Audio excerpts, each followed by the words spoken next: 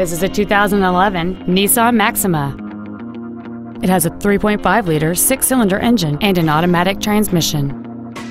This Nissan has had only one owner, and it qualifies for the Carfax buyback guarantee.